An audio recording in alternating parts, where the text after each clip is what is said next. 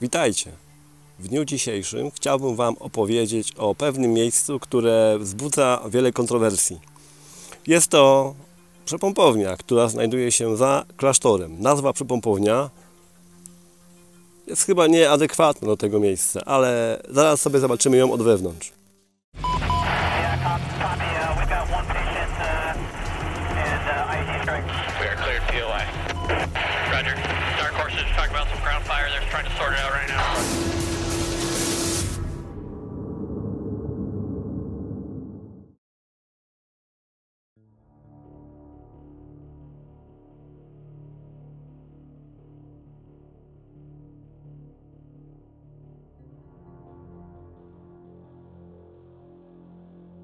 Spróbuję teraz Wam pokazać od wewnątrz, co znajduje się w tej przepompowni. Jest kilka ciekawych teorii na temat tego miejsca.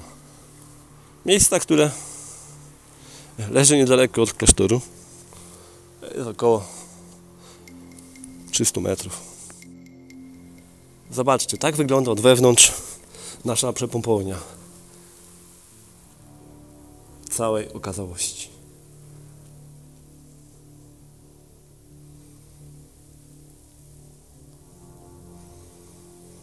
I to, co znajduje się tutaj, jest bardzo interesujące.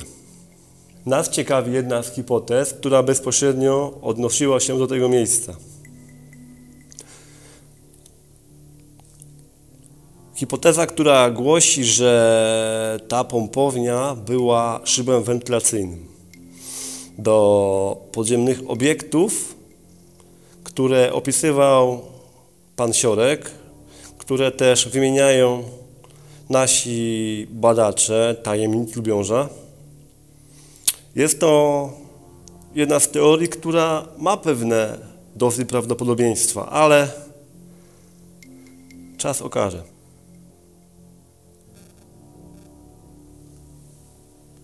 Widać tutaj jeszcze zakończenia przewodów, które wchodziły do tej naszej przepompowni. Pulpit sterowania?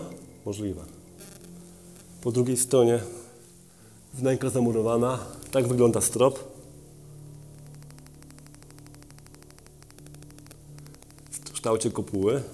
Pokażę Wam teraz zbliżenie tego miejsca, tych kabli. Zobaczcie, jak to wszystko wygląda.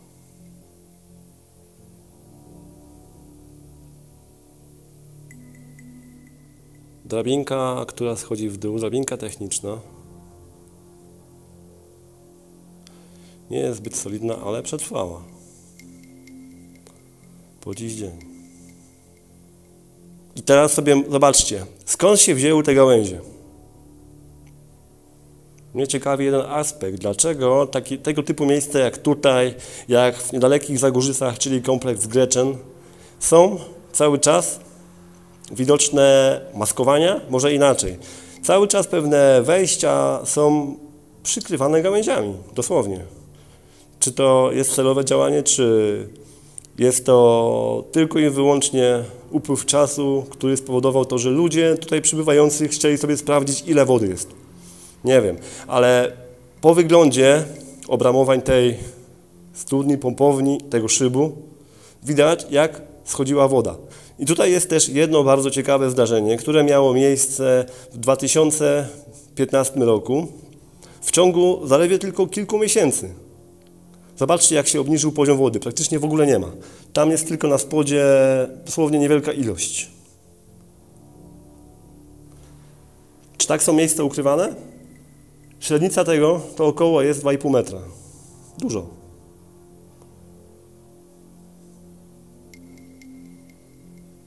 To miejsce, które wywołuje bardzo dużo kontrowersji wśród badaczy, to jest miejsce, które cały czas jest przedmiotem sporów. Zobaczcie tylko sobie sami, jak ono wygląda od wewnątrz. Czy te wszystkie, w cudzysłowie oczywiście, nieprawdopodobne historie odnoszące się do tego miejsca mają rację bytu? Czyli to, co tu tak naprawdę było, że jest to szyb windowy, szyb wentylacyjny? Powiedzcie teraz sobie teraz sami, na jedno pytanie. Zobaczcie, jeżeli to była pompownia, to gdzie jest cała infrastruktura? Skoro zachowały się pulpit i przewody sterownicze, a nie ma takiego czegoś jak rury, nie ma takiego czegoś jak mocowania na pompę, bo chyba to nie jest mocowaniem. Do silnika pompy i do samej pompy. Jeżeli tutaj, tutaj musiała być potężna, duża pompa, ale no niestety nie ma. Nie ma żadnej infrastruktury. Miejsce tej pompowni raczej nie pasuje do tezy, która lokuje tutaj tylko i wyłącznie infrastrukturę służącą do odpompowania wody. Najciekawsze jest w tym wszystkim to, dlaczego tak szybko w ciągu zaledwie paru miesięcy zeszła duża ilość wody i nie pojawiła się. W ogóle i po dziś dzień nie ma po niej śladu. Zobaczcie sobie, nie tak dawno, gdzie stała woda. Widać jest na obramowaniach tej, tego obiektu. I jak ona schodziła. Cyklicznie, cyklicznie, a później jest taki nagły przeskok, jakby odpadła. Pokażę Wam bliżej to, jak schodziła woda. Zobaczcie sobie tutaj.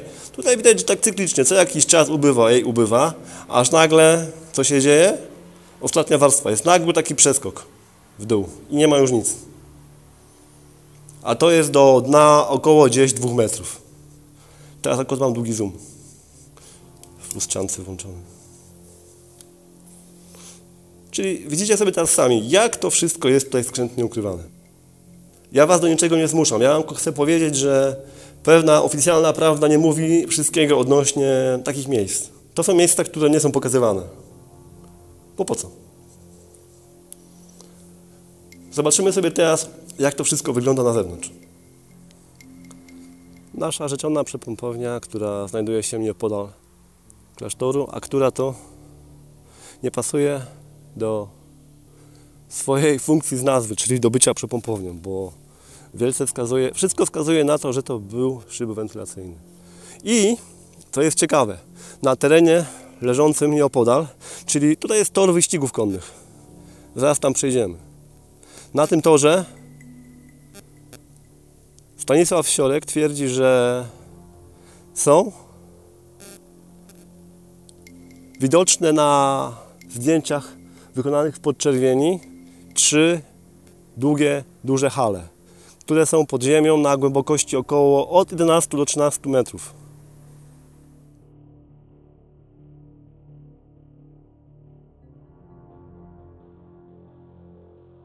Jest też jedna ciekawa sprawa. Zobaczcie sobie tutaj. Tutaj jest, widzę, tutaj jest kawałek tego muru, który okala rzeczoną przepompownię, rozebrany. Tutaj, gdzie schody są po prawej stronie. Zobaczcie, jak to wszystko wchodzi w dół. Czy tego typu budowle, jak przepompownie, są tak budowane, tak solidnie? Nie.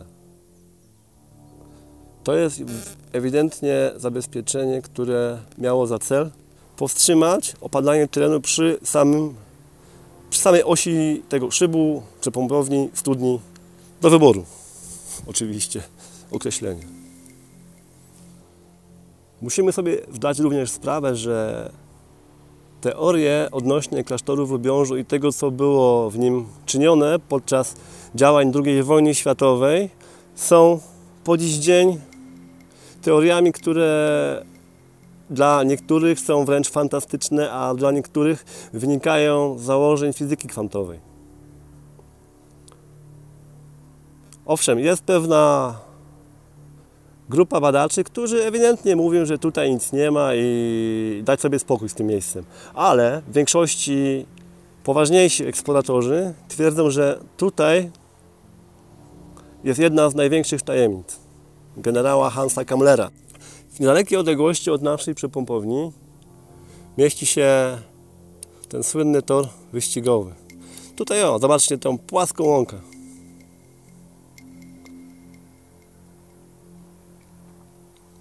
Widzicie teraz? Idealnie równy teren. No, upływ czasu jednak jego nie zmienił. Pod tym torem wyścigowym Stanisław Siorek twierdził, że na zdjęciach wykonanych w Podczerwieni widać trzy długie na około 100 metrów hale, które znajdują się około od 11 do 15 metrów w podziemiu. Które są ściśle połączone z tą przepompownią, czyli szybą wentylacyjną, gdzie wcześniej Wam pokazywałem. Powstaje też pytanie, czy można tego typu miejsca eksplorować w sposób inwazyjny? Myślę, że kilka prób już było czynionych, ale odpowiedzialność, jaka ciąży na odkrywcy, który chce tutaj eksplorować, jest ogromna. My jesteśmy ciekawi, czy znajdą się kompetentni ludzie, którzy dostaną zezwolenie na eksplorację może inwazyjną tego miejsca, ale zrobią to w uczciwy, sensowny oraz profesjonalny sposób. Bo jak na razie ci wszyscy, którzy tutaj chcą eksplorować, to ci wszyscy, o których wiem, to nie reprezentują merytorycznie chyba niczego. Chciałbym Wam też na zakończenie powiedzieć, że Miejsce, które Wam pokazałem, jest tylko jednym z wielu miejsc, które kryją w sobie podwójne znaczenie, ukryte dno oraz mają ogromny wpływ na rozumienie znaczenia tego obiektu, jakim był klasztor w Lubiążu. Bo klasztor w Lubiążu to nie tylko sam budynek, to naprawdę wielka, ogromna sieć infrastruktury, która jest rozrzucona na terenie przylegającym do klasztoru. Jedno z miejsc, które znajduje się na torze wyścigowym, a które też jest warte pokazania. Zobaczcie sobie teraz, jak tutaj nam się odsłania kształt prostokątu, który w ogólnym zarysie wygląda w taki sposób.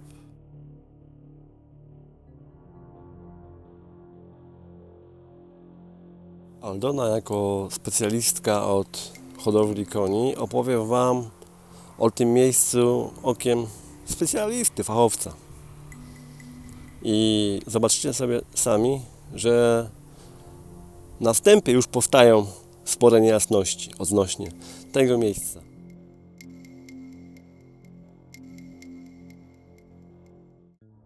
Znajdujemy się za klasztorem na łące. Łąka, która należała kiedyś do stada ogierów w Lubiążu, które powstało tu w 1817 roku. Ale więcej w następnym materiale o nim. Łąka jest dosyć ciekawa, bo jest stosunkowo wyrównanym terenem z niewielkimi zapadliskami, Ciekawe jest to, że wcześniej był tu tor wyścigowy oraz plac maneżowy, czyli plac do pokazów, treningów, ujeżdżania koni. Wiadomo, że Niemcy słyną z dobrych hodowli, z dużych osiągnięć sportowych, z dokładności i dbałości o swoje rodzime rasy.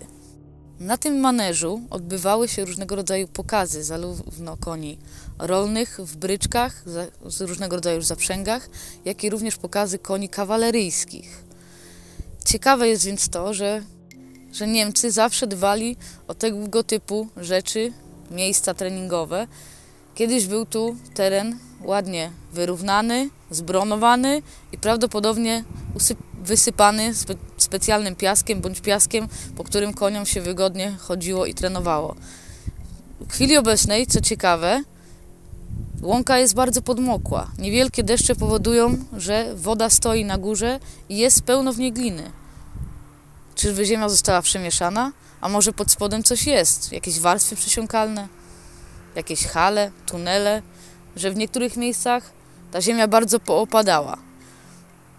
Kolejną kwestią, która jest interesująca, jest fakt, że nikt nie wypasał tu nigdy żadnego bydła, po tym okresie wojennym nic tutaj z tą łąką się nie robiło, a widnieje na nich kilka pagórków, które są z jakimiś studniami, znacznikami. i linia wysokiego napięcia prowadząca w kierunku mostu nad Odrę. Kolejną ciekawostką jest pagórek pokazany tam, który mógł służyć jako przeszkoda krosowa do treningu owych koni, bądź jak, jak mówią niektóre źródła, trybuna. Ale w takim miejscu daleko od zamku, na samym skraju łąki, trybuna dla widzów, wydaje się być nieprawdopodobne. Może faktycznie tak to miało miejsce. Zastanawia fakt bliskiej odległości ze stacją kolejową, która była niedaleko i łatwym dojazdem do niej, jak i, i z niej. Wystarczyło podjechać pod górę i zjechać z góry. Może była to jakaś, jakiś rodzaj rampy rozładunkowej. Tak wygląda z bliska ta rampa lub trybuna. Zobaczcie sobie, ja odsłonię darń. Tutaj widać podłużne, betonowe, to można nazwać schody, płyty, które idą w kształcie półokręgu.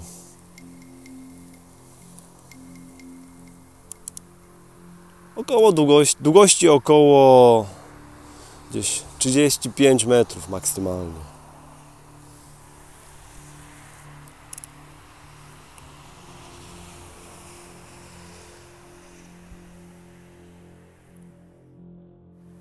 Teraz zobaczcie, to jest panorama, którą widać z tej trybuny, tej rampy, w zależności od tego, jak to wybierze sobie jakie określenie. Widzicie sami teraz, że ten teren nie jest idealnie równy, a przecież Niemcy słynęli z tej swojej dokładności. Ten teren jest bardzo podmokły i teraz bardzo istotne. Tutaj przed nami widać drogę, która prowadzi do stacji kolejowej. W linii prostej to około 500 metrów. Zobaczcie, teraz tak wygląda ta droga. On tutaj kiedyś, w latach jeszcze latach 90. była kostka brukowa. A teraz co z tego zostało? Nic. I ta droga prowadzi bezpośrednio do przed nami dworzec kolejowy, a za chwilkę pokażę za nami. Zobaczcie sobie. Jakie to wszystko jest podmokłe, grząskie, rozjeżdżone. I tutaj przed nami w odległości około też gdzieś 500 metrów znajduje się most drogowy na rzece Odra. I po prawej stronie to nasza rampa lub też widownia. A tutaj ten plac, gdzie według pana Siorka znajdują się trzy hale o długości 100 metrów, które znajdują się na głębokości od 11 do 15 metrów. Na zakończenie zagadka. To jest kabel teletechniczny czteroparowy, ośmioprzewodowy w izolacji papierowej. Dodatkowo jest to wszystko w pancerzu ołowianym. Taka mała zagadka. Znalezione na powierzchni. Do czego to służyło?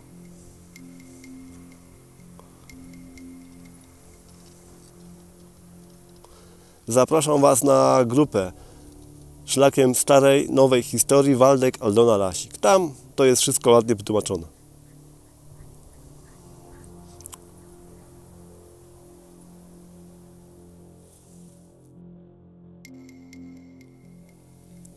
Klasztor w Lubiążu zawsze będzie miejscem, które będzie przyciągało, które jest magiczne i które eksploracyjnie jest bardzo wartościowe do zgłębiania. Nas jako badaczy tego miejsca owszem interesuje sam budynek w klasztorze, ale chcemy się bardziej skupić na tych obiektach, które znajdują się w dalekiej odległości od niego. Aby zrozumieć klasztor w Lubiążu, należy zapoznać się z wszystkimi obiektami, które są, leżą przy nim. Na zakończenie chciałbym Wam powiedzieć, że serdecznie dziękuję Wam za wszystkie zesłane przez Was materiały. Jeszcze raz wielkie dzięki i do zobaczenia wkrótce. Czym jest ten budynek? Nie wiem. Ale hipoteza odnośnie szybu wentylacyjnego jest wielce prawdopodobna. A wy co o tym sądzicie? Napiszcie.